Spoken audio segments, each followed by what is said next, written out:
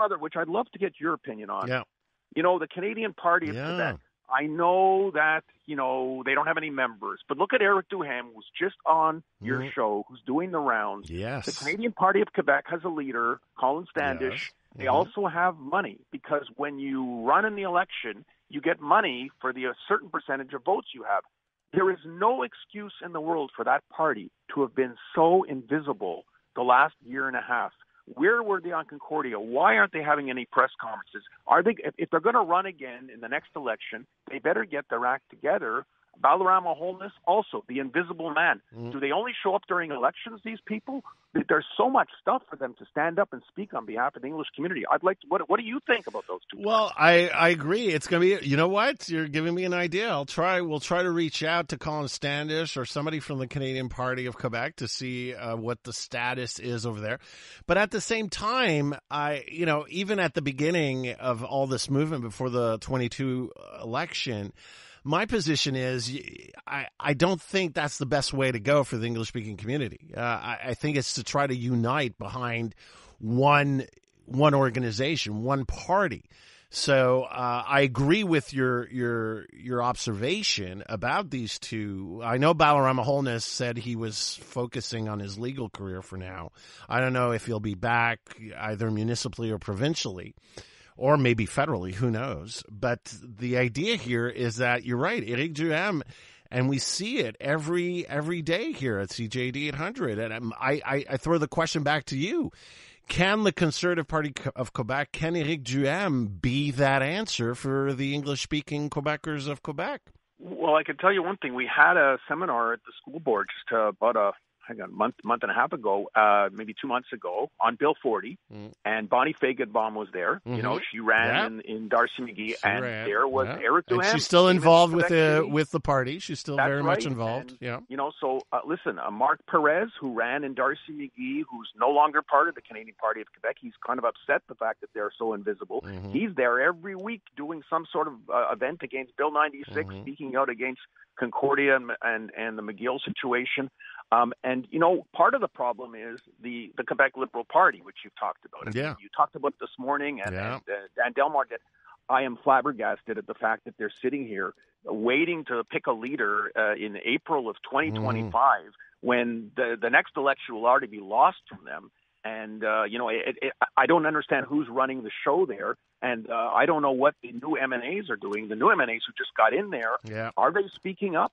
Are they saying anything in caucus? How could they just sit there and let this happen? That was that's a major low as well for It is. 2023. The I provincial Liberal Party, which really could, with a, with a leader, like you said this morning, any leader uh, who would be at least permanent, they'd be up in the polls. But you know, Mm-hmm. they're, they're waiting for a miracle. They're waiting for uh, Justin Trudeau to uh, go take a walk in the snow Mm. or call a snap election and hope that Melanie Joly or someone will become available. But no, they won't be available by then. They won't be available because regardless of what happens federally, the Mélanie Joly or the François Philippe Champagne are going to look at being a player for whoever succeeds Justin Trudeau. They're not Exactly. going. They're not going to come in and be the new Jean Charest version or the new Jean Lesage Yeah. for for people who remember their history. Uh, having this former federal politician come in and save the Liberal Party of Quebec, I I don't see it happening, especially in the middle of a huge election cycle, where you know in 2025 we're going to have at least the municipals, we're going to have the federal, and then in 26 we're going to have the provincial. It's going to be a mess trying to run and organize and fund a leadership campaign in the midst of all of this. You you've said it completely correctly, and you know I would. If I were the Liberal Party, I'd do what they did with Jean Charest many years ago, and I would get on my knees and beg Andre Fortin to change his mind. Mm. Because, in my opinion, he, as the leader, he's the one that could bring them maybe not to power in the next election, but maybe they'd get a good minority government with a big vote split. Well, uh, definitely start rebuilding. Start start getting messages out there. And as for the caucus, I appreciate your point. The only thing I'll say is in the defense of the these rookies, the the Yeah. 10 new members, Yeah. it takes time to get your footing, especially in the opposition. I've I I that's how I learned. I mean, I was a rookie MNA in the opposition. It is it is it takes time to get your footing. But I'm seeing you know, some cause for hope. I mean, I don't know what you think, but, you know, Des McGraw is starting to get her footing. Absolutely. Madwa-Nika Cadet Montreal now, she's getting her footing. Uh, Liz Prass, I thought, uh, you know, scored a lot of points during, well, since the October 7th attacks. I mean, she's been very present.